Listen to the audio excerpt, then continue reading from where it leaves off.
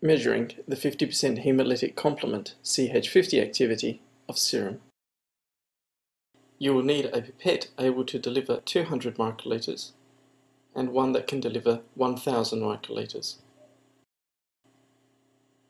Test serum which has been stored on ice, sensitized sheep red blood cells, veronal buffered saline,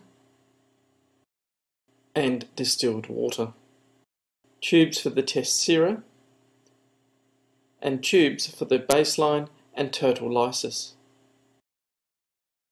A vortex mixer, and a 96 well flat bottom plate.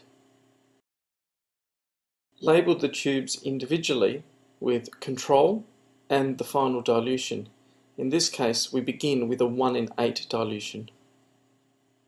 Continue with twofold dilutions, giving rise to a 1 in 16, 1 in 32, 1 in 64, and 1 in 128 dilution. Label the remaining tubes blank and total lysis.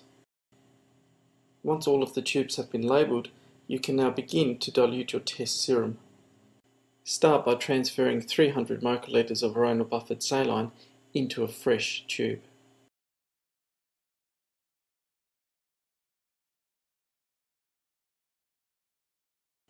Now transfer 100 microliters of serum into the 300 microliters of veronal buffered saline.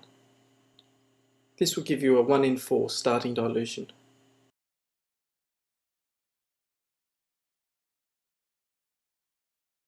Ensure that the serum sample is thoroughly mixed.